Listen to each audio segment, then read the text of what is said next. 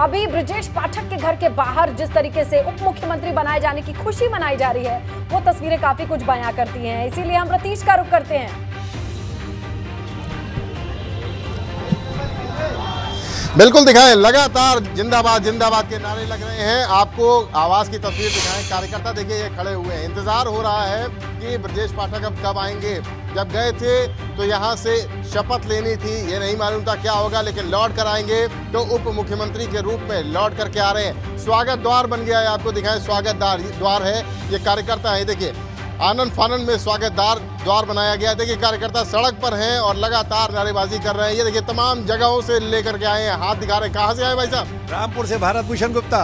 रामपुर से चले आ रहे हैं। वो प्रत्याशी नगर विधानसभा रामपुर रहा हूँ भाजपा से। मुख्यमंत्री बने ब्रजेश पाठक बहुत जय जयकार हुई है। भगवान श्री राम ने पाठक जी पे कृपा की है। न्यायकारी व्यक्ति हैं और सर्व जन हिताय की बात करते हैं। पाठक जी सब जन हिताय की बातें करते हैं और असली गरीबों के नेता हैं। बहुत दिनों से देख रहे हैं मुद्दत से।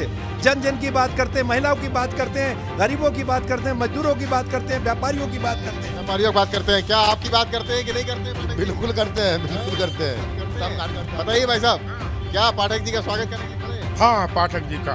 पाठक ने हम लोगों की बड़ी मदद की और विशेषकर पूरे प्रदेश का ब्राह्मणों कार्यकर्ताओं की बात हाँ कार्यकर्ताओं बताइए भाई साहब।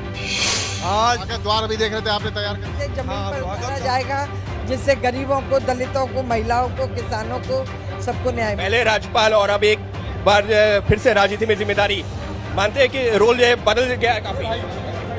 कुछ नहीं बदला है, केवल समाज सेवा करना केवल समाज सेवा है, कई और यहाँ पर हम कोशिश करेंगे उन सांसद, उन मंत्रियों से बात करने की जिन्होंने अभी शपथ ली है।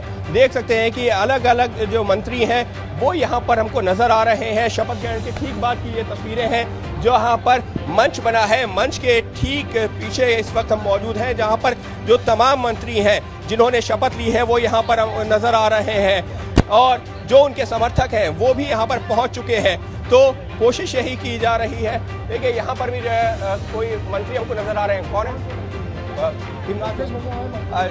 तो फ़िलहाल